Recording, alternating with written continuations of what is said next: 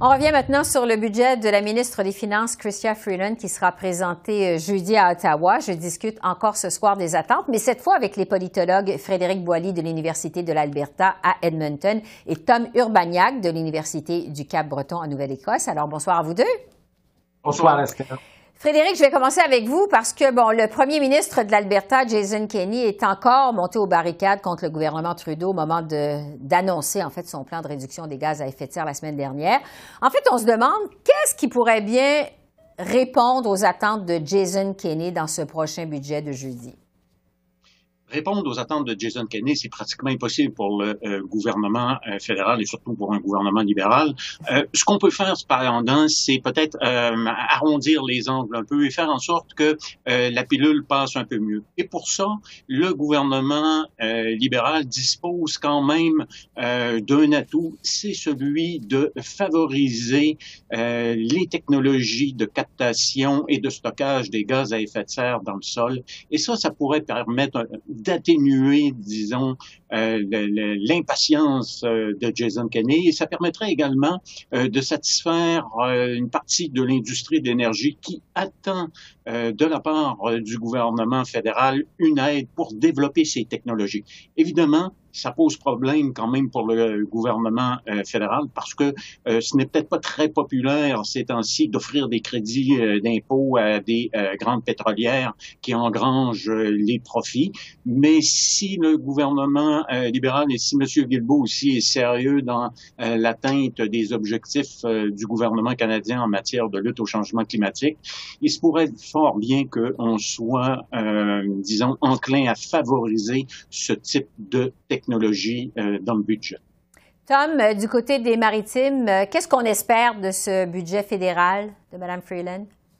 Oui, on a des indices très clairs des attentes des premiers ministres de l'Atlantique. Par exemple, le, nouveau premier ministre de la Nouvelle-Écosse, Tim Houston, a eu une rencontre très importante avec le premier ministre Trudeau le novembre dernier et euh, les demandes portent surtout sur la santé. Euh, le gouvernement provincial ici en Nouvelle-Écosse, mais ailleurs en Atlantique, a mis beaucoup sur les améliorations du système de santé.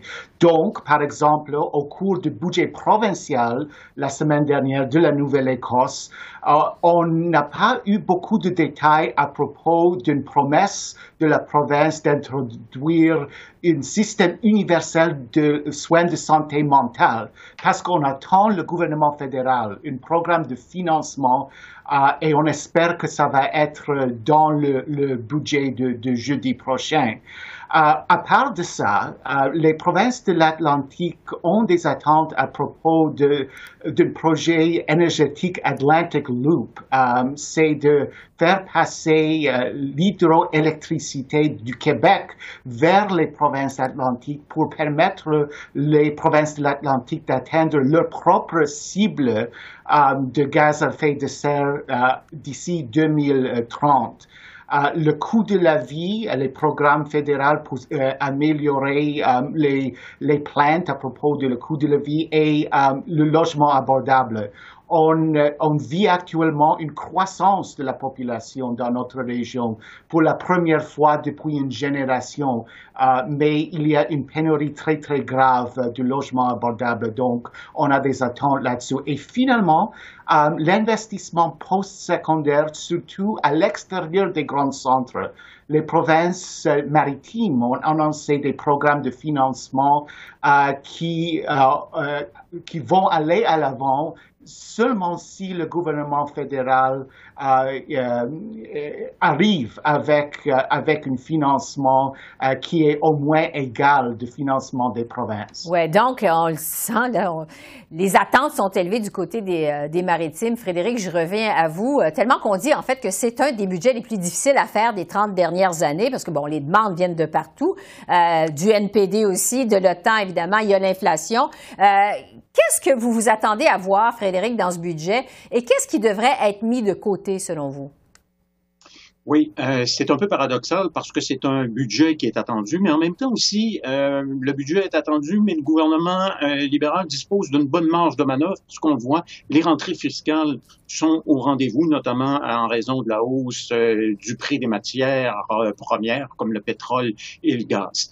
La hausse en matière de dépenses militaires de quel type elle va être? Est-ce que ça va être un signal faible qui est envoyé par euh, le gouvernement euh, libéral à ses alliés euh, de l'OTAN ou un signal qui va être plus fort, donc avec une augmentation plus forte? parce qu'on s'attend à ce qu'il y ait une hausse des dépenses militaires, mais la nature et l'intensité de cette hausse reste encore à voir et ça va avoir des conséquences importantes évidemment sur l'image internationale euh, du euh, Canada. Euh, l'autre élément, ben, ça va être de voir comment le gouvernement va concrétiser son entente avec les néo-démocrates. déjà, on voit les néo-démocrates ont établi leur, leur demande en matière de logement, en matière d'assurance dentaire pour les familles à faible revenu et plus particulièrement ceux en bas de 12 ans. Est-ce que le gouvernement libéral va euh, déjà mettre des sommes, et des sommes importantes sur la table, autre élément. Et ce à quoi je m'attends pas, ben, c'est que le gouvernement fasse preuve euh, de modération euh, en matière de dépenses budgétaires, parce qu'il y a beaucoup de demandes qui viennent des conservateurs, évidemment, mais pas simplement des conservateurs, aussi des milieux économiques, pour que le gouvernement soit un peu plus, disons, se mette en mode de restriction quant à, aux dépenses mais on n'a pas l'impression que ça va dans cette direction-là. Et ça, même avant l'entente de euh, la semaine dernière, mais ça pourrait avoir des conséquences importantes parce que on s'attend à une hausse des taux d'intérêt et donc peut-être un peu plus de difficulté euh, par la suite à rembourser la dette. Ouais. Ah, Tom, euh, après ce budget, une fois qu'il va être présenté jeudi, L'autre grande décision du gouvernement Trudeau, euh, qui est très attendue, ce sera celle relativement au projet de Baie du Nord à Terre-Neuve et Labrador.